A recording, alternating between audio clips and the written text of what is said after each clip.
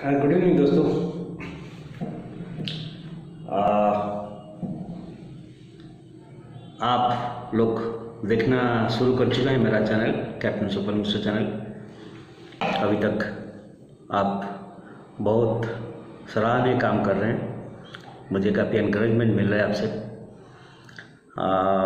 पिछले वीडियो में मैंने एन का ऊपर कुछ बोला था। छोटे छोटे मर्चेंट नेवी का ऊपर जो भी मेरा नॉलेज है वो मैं बांटता रहता हूँ।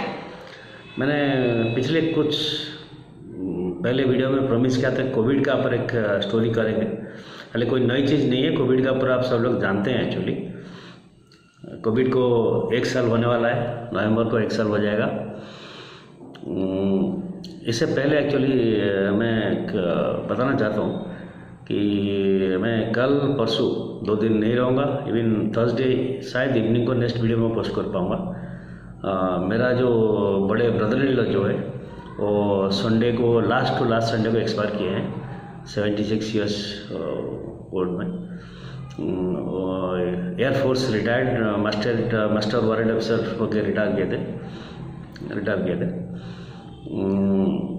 कल उनका दसवीं दिन है, कल मैं जाऊँगा, दसवीं, ग्यारहवीं, बारहवीं ख़त्म करके मैं वापस आऊँ मैं एक्चुअली एक छोटा सा ट्रिब्यूट उनका देना चाहता हूँ एक्चुअली जैसे मेरा भी शुरुआत एक बहुत ही गरीब परिवार से हुआ था। मेरा मिसेस की परिवार भी हालाँकि एक फार्मर्स फैमिली है, लेकिन वो भी बहुत गरीब परिवार से शुरुआत किए थे। उस टाइम पर मेरा ब्रदर इन लॉ जो है एयरफोर्स ज्वाइन किए। जबकि उनका जो फैमिली जो है ना छोटे छोटे भाई, बहन, ये करके उनके घर को, परिवार को संभाल के उन्होंने एक्चुअली जो फाउंडेशन रखा, उन्होंने तैयार किया है। अभी वो लोग बहुत ही अच्छे मतलब not only this things then very high position now पर लेकिन जो फाउंडेशन नींव रखे थे, उन्होंने रखे थे। जेड जेड डब्ल्यू महिंद्रा परीक्षा। उनके ये शाम मैं ये वीडियो उनको ट्रिब्यूट देता हूँ। मैं उनको बहुत सम्मान करता हूँ एक्चुअली बहुत बहादुर आदमी थे। और बहुत मेहनत करके अपनी मिसेस के जो फैमिली को उन्होंने डेवलप किया है। अभी मैं गर्व से बोलता हूँ कि मेरा जो सबसे छोटा साला, जो ब्रदर लॉ है, वो जियोलॉजिस्ट है लंदन में है, और all other families they are all establish you know now absolutely those things are those days are gone now ठीक है? उनके उनके लिए मैं नमन करता हूँ। आप लोग को भी नमस्कार करता हूँ। वीडियो शुरू करते हैं। कोविड कहाँ हुआ, ये तो सब लोग जानते हैं। वुहान बोल के एक चाइना का शहर है, जो जैसे हमारा मुंबई को कहते हैं इकोनॉमिक कैपिटल ऑफ़ इंडिया जैसे वुहान शहर जो है ना वो जो है चाइना चाइना का इकोनॉमिक कैपिटल है। लीजिए मैन्युफैक्चरिंग हब जिसको कहते हैं चाइना का entire around ninety percent manufacturing वहीं पर होता है। All factories everything under China का। वहाँ से शुरू हुआ है। लेकिन it is a mystery actually नवंबर में शुरू हुआ है। लेकिन जनरली वर्ल्ड को पता चला जनवरी फरवरी में। चाइना ये बात छुपाए एक्चुअली लोग कहते हैं कि चाइना एक यू नो एक वायरस खुद अपने लाभ में, हालाँकि चाइना का जो कहना है कि उनका एक you know non veg market था, जहाँ पर कॉकरोच छिपकली और बैट और मटन फ़िश ये से सब लिजर्ड विजर्ड सब बिकते हैं। चाइनीज़ लोग आप जाते हैं, क्या खाते हैं? सांप वाम बेंग फ्रॉग वगैरह भी खा जाते हैं, ठीक है? चलो हम लोग तो सोच ही नहीं सकते। उस मार्केट से वो जो वायरस निकला। ये चाइना का कहना है बैट से निकला ये वायरस लेकिन और एक स्कूल ऑफ़ थॉट जो कहता है कि चाइना जो है, कोशिश हमेशा दिल में ये चाहत कि वर्ल्ड का नंबर वन इकोनॉमी बनेगा। अमेरिका को टक्कर देगा। हालाँकि अमेरिका अभी thirteen trillion tons trillion billion trillion dollars का इकोनॉमी है और China is only seven trillion dollars economy लेकिन वो सोच रहा था कि कोई एक स्कूल ऑफ़ थॉट है, मैं नहीं बोल रहा हूँ कि वो एक वायरस तैयार कर रहा था जाके वर्ल्ड के इकोनॉमी को उसको छोड़ के ट्रिपल कर देगा, करके वो आगे निकल जाएगा। ये स्कूल ऑफ़ थॉट है। इवन कुछ कुछ उन्होंने सपोर्ट भी किए हैं। एक हांगकॉन्ग की एक साइंटिस्ट है जो उस लैब में कुछ दिन काम किए थे, जो वायरस तैयार हो रहा था। उन्होंने उनका कहना है कि उन्होंने पेपर दिया था लिख के कि भाई ये प्रॉब्लम हो जाएगा और इसको बंद करना चाहिए। फिर उनको वहाँ से निकाल दिया। और बाद में सुन में आया कि जितना भी साइंटिस्ट और लैब उस टाइम पर काम कर रहे थे। अभी उनका मोबाइल वगैरह कुछ लगने रहे और everything everybody has been eliminated actually उन लोगों को पता नहीं है। ये एक थियरी है। और एक थियरी है कि वायरस ये बना रहे थे, हो सकता है जो भी पर्पस में है बायोलॉजिकल वॉरफेयर में वॉरफेयर के लिए हो, कैसे वो बना रहे थे। लेकिन ये उनका हाथ से बसना शुरू हो गया आउट ऑफ़ कंट्रोल हो गया, वहीं से निकल गया, गलती से निकल गया। मैं भी ये थियरी को मानता हूँ एक्चुअली क्योंकि एक रेस्पॉन्सिबल कंट्री जो भी है इतना भयंकर काम नहीं करेगा। शायद वो यही लग रहा है कि कर रहे थे वो शुरू हो गया उनके कंट्रोल से बाहर हो गया। लेकिन मेरी को सिर्फ़ ग्रेवेंस है कि बात को उन्होंने छुपाया तो दो तीन महीने तक छुपाया सारे दुनिया से छुपाया। इवन डब्ल्यू एच को भी पता था लेकिन डब्ल्यू एच को उन्होंने चाइना अपनी ये में लेके कॉन्फिडेंस में लेके दो महीने रोक दिया। हम्म, बाकी वो वैन का तो पूरा सील कर दिया जबकि वो वायरस दूसरा कोई हांगकॉन्ग वगैरह दूसरा बड़े सिटी में ना जाए। लेकिन तब तक जो फ़्लाइट वगैरह जो बंद नहीं किए थे फ़्लाइट वगैरह चल रहा था वो स्प्रेड हो गया था। हम्म, ये हम्म, मेरा मानना है। तो सारे वर्ल्ड के ऑलमोस्ट ऑल लीडर्स यू और all this things they are very this wait कर रहे हैं। कैसे इन्वेस्टिगेशन होगा इंटरनेशनल इन्वेस्टिगेशन होगा और जैसे कि वायरस कंट्रोल में आ जाएगा वैक्सीन तो ऑलमोस्ट सर पे है, कभी भी निकल सकता है वैक्सीन मैं आऊँगा वैक्सीन का ऊपर। तो एक बार कंट्रोल में आ जाएगा तो फिर इसका इन्वेस्टिगेशन होगा, पता चलेगा क्या मतलब क्या खामियाजा क्या हुआ है, पता चलेगा। सबसे ज़्यादा, जैसे कि यूएस में ज़्यादा है ट्रंप इसके लिए जब जो बिडेन और ट्रंप का बीच में डिबेट होता है तब थोड़ा पीछे हट जाते हैं क्योंकि उन्होंने जो वायरस का ऊपर ठीक से कंट्रोल नहीं कर रहे बिकॉज़ जो थोड़ा केयरलेस हो गया इकोनॉमी को ब्लॉक करना नहीं सोचे। Because thirteen trillions dollars of economy अगर सब कुछ बंद बंद कर देंगे तो इकोनॉमी गिर जाएगा। तो उन्होंने इकोनॉमिक प्रायोरिटी को पहला प्रायोरिटी दिया। बाकी कुछ लोग वायरस आएगा, कुछ लोग मरेंगे, कुछ ठीक होंगे, कुछ जाएँगे। तो उन्होंने ये एक प्रायोरिटी दिया, इसलिए वो थोड़ा क्रिटिसिज्म ये आ रहा है। और भी बहुत सारी सफ़र कंट्रीज़ है कि ईरान है, इटली है, मेक्सिको है ग्रीस है, रसिया है even now they are suffering actually things Brazil, हम लोग, सब लोग सफ़र किए हैं इस वायरस की वजह से। तो हमारा इंडिया में, जैसे कि मैं बताता हूँ इंडिया में कैसे लेट्स कम एक्चुअली अभी पब्लिक का दिल से वो जो कोरोना वायरस का डर निकल चुका है इसलिए कि इनिशियली जब शुरुआत हमको पता नहीं था प्रोटोकॉल क्या पता नहीं था वायरस को रिसर्च नहीं था, क्या था, क्या पता नहीं थे, हम लोग को तुक्का मार गए ऐसा करेंगे, देखते हैं क्या होता है, ऐसा करेंगे, देखते हैं क्या होता है, ऐसे काम करता था। उस टाइम पर सबसे बड़ा हमारा, जो वेपन था, वो था शटडाउन शटडाउन हमने भी थोड़ा सा लेट किया एक्चुअली शटडाउन वगैरह ये करने में थोड़ा लेट किया एक्चुअली हमको तो वायरस का पता चल गया था जनवरी तक। जनवरी में हमको पता चल गया था। लेकिन उस टाइम पर हाउडी ट्रंप ट्रंप साहब का विज़िट था? इतना बड़ा हाई प्रोफ़ाइल विज़िट है उसको कैंसिल नहीं कर सकते थे। और ट्रंप के विज़िट की वजह से आज वो चाइना का जो हमारा प्रॉब्लम हो रहा है चाइना दब के बैठा हुआ है क्योंकि ट्रंप हमारा पीछे है। हम्म, संभव। तो इसलिए हमने थोड़ा लेट कर दिया जैसे ट्रंप का विज़िट ख़त्म हुआ। उसके बाद हम रेस्ट्रिक्शन लगाना शुरू कर दिए। लेकिन तब तक वायरस अंदर आ चुका था। आ चुका था।